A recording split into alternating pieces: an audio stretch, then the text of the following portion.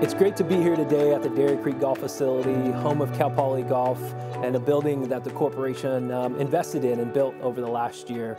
I'm here with Jennifer and Alan. Jennifer is the Associate Executive Director for Human Resources at the corporation, and Alan's a student board member at the corporation. This is a start of a series of conversations that the corporation is going to have with a few team members, taking time to look back as well as looking forward. So, Alan, I'll let you kick it off. Let's talk a little bit about some of the challenges for uh, for this year.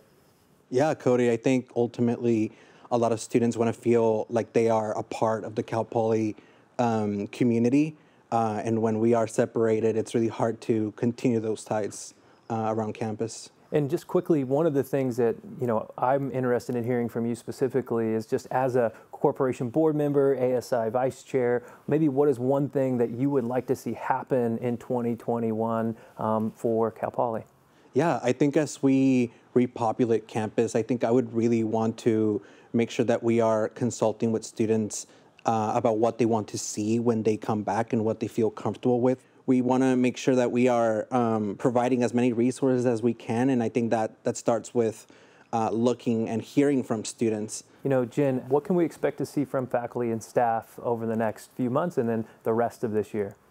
Lots of big things are happening for sure. Right now, we're really working on the repopulation plan.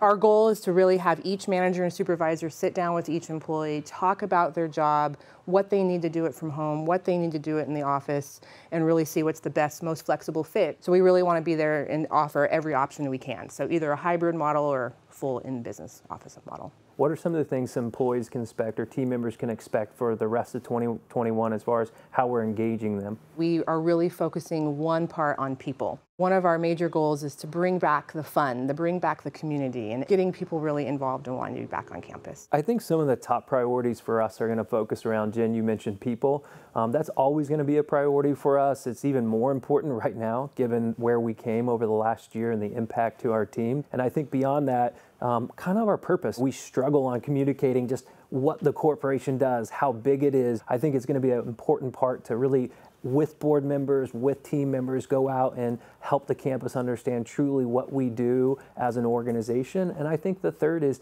you know, looking at the programs that we run, whether they're commercial services or real estate or business services on campus, I think is going to be important for us to focus really clearly on those three. You know, that's going to be a critical need, just paying attention and adapting to students. So not just in commercial services, but I think across the board, it's just a different Cal Poly because of what we've seen over the last year. And I think we're going to expect more of change and more new things coming in the fall of 21. I'd like to thank Alan and Jennifer for the conversation today, and we're all looking forward to a great fall quarter.